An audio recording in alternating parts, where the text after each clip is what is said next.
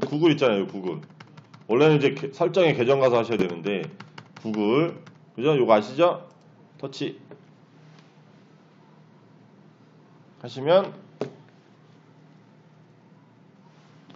오른쪽 하단에 더보기라고 있죠. 그죠? 그럼 이쪽에 여기 있습니다. 삼각형. 그럼 여기 계정 추가라고 나오죠. 그죠? 자, 그러면 여기에 또 패턴 바뀌었어요, 지금. 한동 선생님. 그죠? 자, 여기 계정 만들기. 새로 만드는 거예요, 새로 만드는 거. 여기다가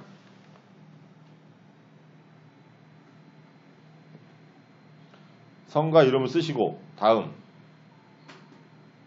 그러면 연도 있죠 선생님 연도는 어떻게 하라고요 미성년자만 아니면 돼요 그죠 미성년자 연도를 쓰시게 되면 그러니까 미성년자는 만 14세 미만을 얘기를 하- 하는데 미성년자 연도를 쓰시게 되면 얘네가 그 유튜브 뭐 들어가거나 할 때 제약이 좀 몇 가지가 있어요. 근데 그게 풀려면은 그 만든 계정을 만약 지우게 되잖아요. 다시 만들 수는 있는데 그 만든 개- 미성년자 그 만 14세 미만으로 나이를 해놓고 만들게 되면 지우더라도 한 세, 서너 시간 정도는 제약이 있어요. 그거는 감안을 하셔야 돼. 어쨌든 뭐 자기 나이 하면 되지, 그죠? 다음.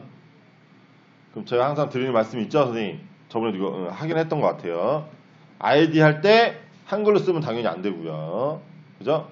근데 이거를 지금 제가 이제 말씀드린 것처럼 선생님도 교육을 할 때 주의해야 될 점은 미리 얘기해 주는 게 좋아요, 선생님. 그래서 항상 수업을 하실 때요, 특히 어르신들 교육할 때는 강사가 먼저 한번 하고, 그죠?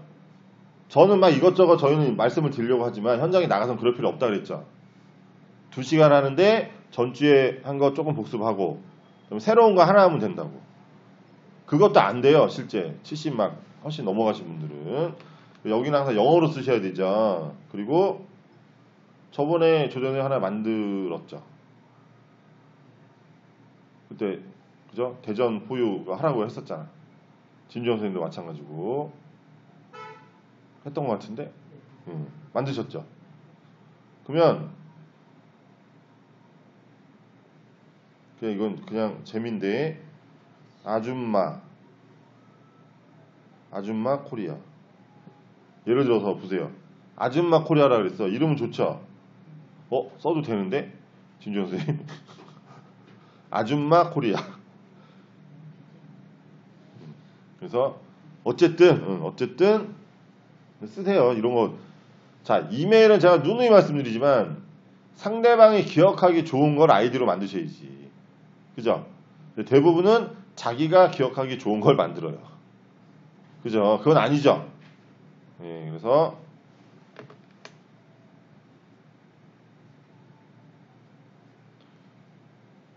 아, 저, 아, 저, 씨. 저 아저씨 코리아 해볼래요, 그냥. 재미로. 자, 선생님, 이렇게 나오죠? 근데 대부분은 빨간색이 나온다고. 누가 쓰고 있다고. 그죠? 그래서 여기서 비밀번호도, 선생님, 어르신들 비밀번호는 어떻게 하냐면, 자, 보세요. 010. 자기 전화번호 있죠? 그죠? 근데 전화번호만 하면은 돼요, 안 돼요? 그죠?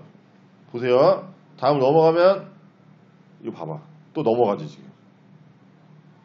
무슨 얘기냐면 이거 이 얘기는 잘 들으세요.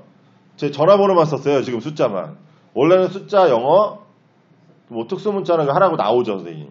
근데 이- 얘 지금 왜 이렇게 되는지 모르겠는데 원래는 영어나 그 섞, 섞으라고 나오거든. 그럼 저는 어르신들은 어떻게 하냐면 그냥 저 아이디도 영어로 A 있죠 앞에 하고 자기 전화번호 쓰라 그래. 비밀번호도 그죠? 전화번호나 뒤에 그러니까 간단히 기억하기 좋게끔. 자, 그럼 여기서 질문이 들어와요, 선생님.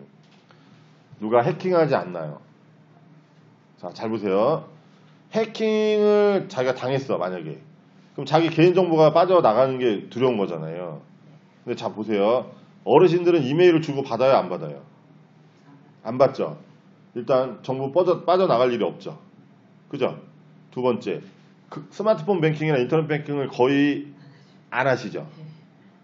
그럼 돈이 빠져나갈 일이 없죠. 저처럼 뭐 신용카드 등록이나 해놓은 게 없죠. 어르신들은. 그럼 또 돈이 빠져나갈 일이 없죠. 결론은 뭐냐면 아무 문제가 없는 거예요.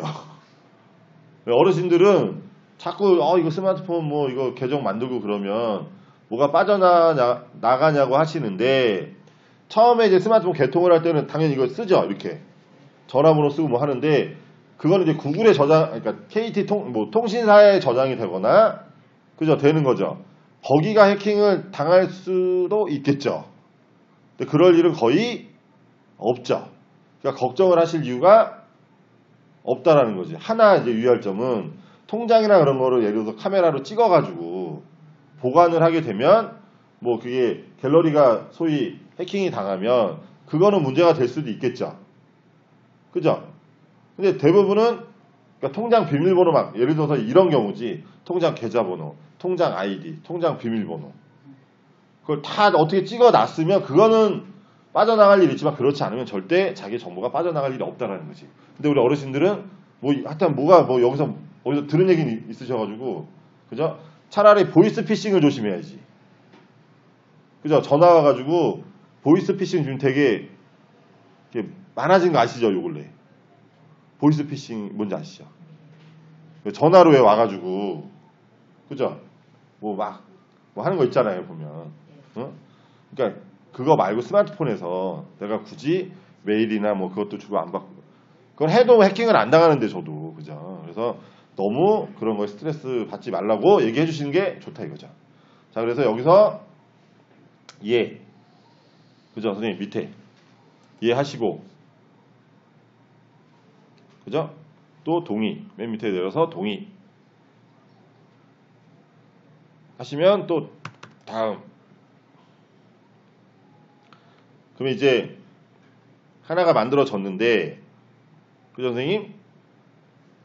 이렇게 만들어졌죠?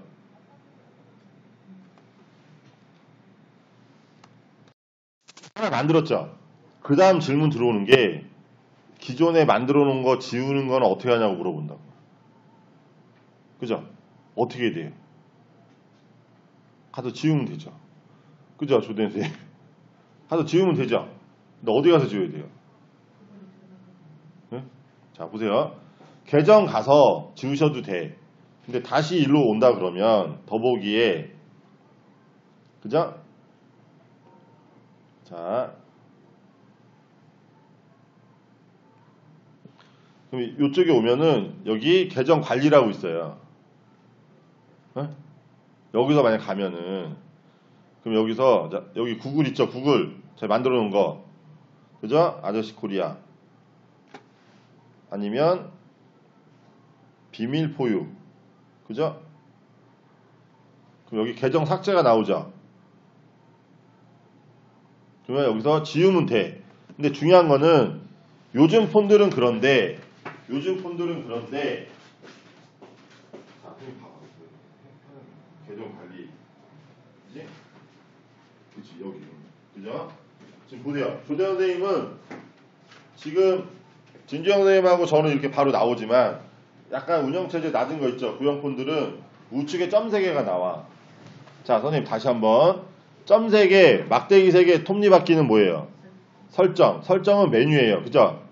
내가 이 해당하는 어플이라든지 해당하는 프로그램에 대해서 메뉴나 어떤 뭐 설명을 보고 싶으면 막대기 3개, 점 3개, 톱니바퀴를 누르시면 되는 거예요. 아시겠죠? 그래서 계정 삭제를 딱 누르면 얘가 지워지죠. 선생님. 그죠? 질문이 꼭 들어온다고. 아시겠죠? 이게 이제 지메일을 만드시는 거예요.